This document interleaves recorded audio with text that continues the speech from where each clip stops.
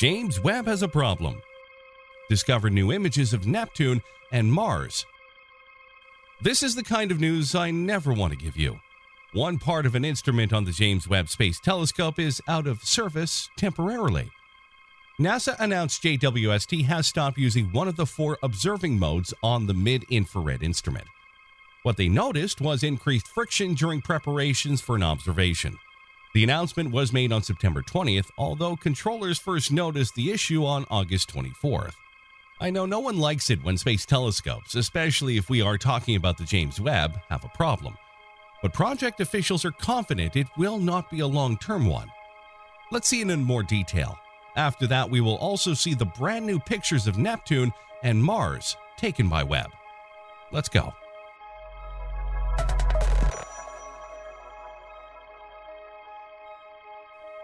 So, one of the four observing modes on the mid infrared instrument, MIRI on JWST, after a mechanism that supports that observing mode, exhibited what appears to be increased friction during preparations for an observation.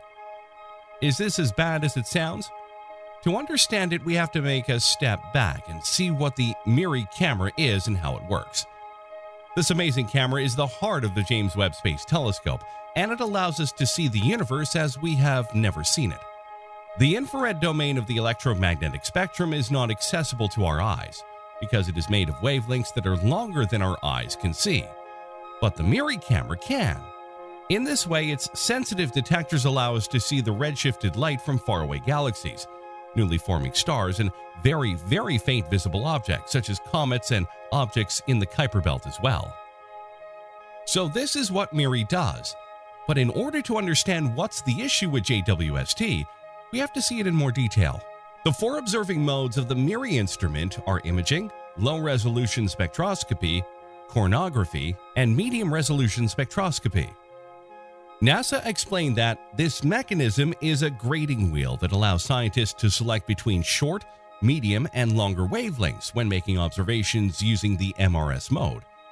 Engineers are still trying to figure out where the root of the problem is, and it might take some time for them to fix everything. Perhaps the smartest thing to do in this case is to switch off the interested observing mode. At the International Astronautical Congress held on September 21st, NASA said they're taking a break and just making sure it works well. Everyone is pretty confident that this won't be a huge problem and it will soon be fixed. The truth is, engineers at NASA are some of the best engineers in the world, and they managed to fix, for example, issues and glitches on board the Voyager probe, the most distant human made object ever built. So I'm pretty sure they'll find a way to solve the issue with the JWST in no time as well. It just may take some time because everything has to be done from a distance. Unlike what was the case for the Hubble Space Telescope, NASA can't fly a team up to space to repair the JWST. Hubble is in orbit around Earth, which made it feasible to send a shuttle, but the JWST is much farther away, about a million miles. It's so far away that it doesn't actually orbit Earth, but instead orbits the Sun. As such, physical repairs aren't an option. The Webb team will have to solve this particular problem remotely. However, all the other observing modes are working as expected, and JWST continues to perform at or above expectations otherwise. During the International Astronautical Congress, the mission released an astonishing image of the planet Neptune. Check it out. This is actually the most detailed look at the distant planet since the Voyager 2 spacecraft flew by it in 1989. Neptune has fascinated researchers since its discovery in 1846. It's located 30 times farther from the Sun than Earth, and it orbits in the remote, dark region of the outer solar system. If you were on Neptune, the Sun would be nothing more than a small and faint disk. Noon on Neptune would be similar to a dim twilight on Earth. Guys, it's cold over there. It makes sense that this planet is characterized as an ice giant due to the chemical makeup of its interior. Compared to the gas giants, Jupiter and Saturn, Neptune is much richer in elements heavier than hydrogen and helium.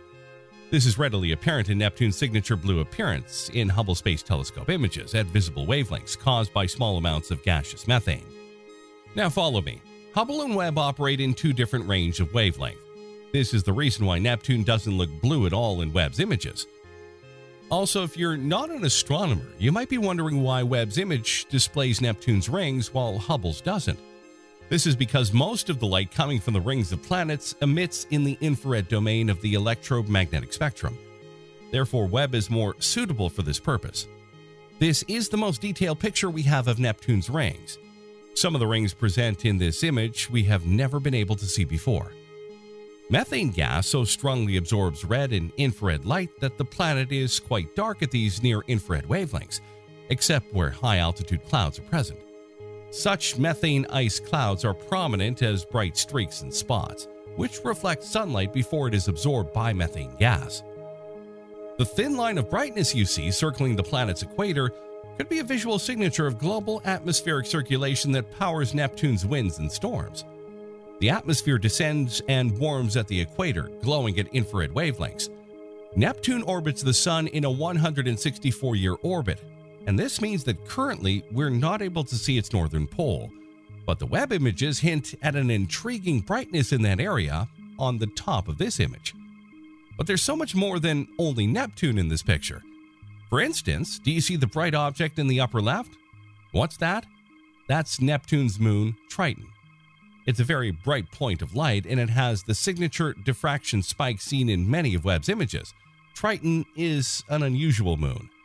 It's covered in a frozen sheen of condensed nitrogen and it reflects an average of 70% of the sunlight that hits it. This is why it looks so bright in the NIRCam images. Actually, it far outshines Neptune in this image. Why is that? It's because the planet's atmosphere is darkened by methane absorption in the near infrared wavelengths. The history of Triton is a complex one. Dynamicists think this moon was originally a Kuiper Belt object that later, due both to gravitational and non gravitational processes, was eventually captured by Neptune. This might serve as an explanation of why Triton orbits Neptune in an unusual backward retrograde orbit. When it comes to the rings, this image is amazing. From the outside to the inside, we can distinguish the Adams ring, the most studied of the five main rings on the planet, named in honor of John Couch Adams, who independently predicted the position of Neptune from Leverrier, the Arago ring, the Lassell ring, and the Leverrier ring. It's also possible to distinguish the Galle ring, named in honor of Johann Gottfried Galle, the first person to observe Neptune with a telescope in 1846, only one degree from the position calculated by Leverrier and Adams. The other visible moons are from left to right counterclockwise Galatea, Naiad, Thalassa, Larissa, Proteus, and Despina. These moons are really interesting objects. Despina, only 27,700 kilometers or 17,200 miles from Neptune's clouds, orbits every 8 hours. Its diameter is about 150 kilometers or 90 miles. It's irregularly shaped and shows no sign of any geological modification. Despina circles the planet in the same direction as Neptune, rotates and remains close to Neptune's equatorial plane. Proteus is an irregular moon. It's the second largest moon on the planet after Triton. Despite its large size, Proteus was not discovered until the Voyager 2 flyby in 1989. The moon, in fact, orbits very close to Neptune, and therefore it is undetectable from Earth, since its light is lost in that reflected by the planet. Furthermore, Proteus is one of the darkest objects in the solar system. It reflects just 6% of the light that hits it. The surface of the moon shows no sign of geological activity, neither recent nor past. Instead, numerous craters are visible, the largest of which, Pharos, has a diameter of 250 kilometers and a depth of 15 kilometers. The Thalassa and Naiad was most likely formed from fragments of Neptune's original moons, which were smashed by the disturbances caused when the ice giant Neptune captured Triton. Thalassa is unusual for an irregular moon because it is roughly disc shaped. Both Thalassa and Naiad circle the planet in the same direction as Neptune rotates and remains close to Neptune's equatorial plane. Thalassa's orbit is slowly decaying due to tidal deceleration and may eventually crash into Neptune's atmosphere or be torn apart and form a planetary ring. Galatea is irregularly shaped and shows no sign of any geological modification. Last but not least, Larissa's orbit is mostly circular, but it is slowly spiraling inward and may eventually impact Neptune's atmosphere, or the gas giant's tidal forces may break Larissa apart to form a planetary ring. The moon orbits Neptune in about 13 hours and 20 minutes. Do you like Neptune's image? Well, that's not everything. James Webb also took its first image of Mars, the red planet. Mars is so close and so bright, and Webb is so sensitive. This is the reason why researchers had to employ special observing techniques to avoid what's known as detector saturation, a phenomenon caused by too much infrared light that blinds the sensors. They used very short exposures and filtered the light that reaches Webb's instruments. The telescope's first images of Mars show an area of the planet's eastern hemisphere.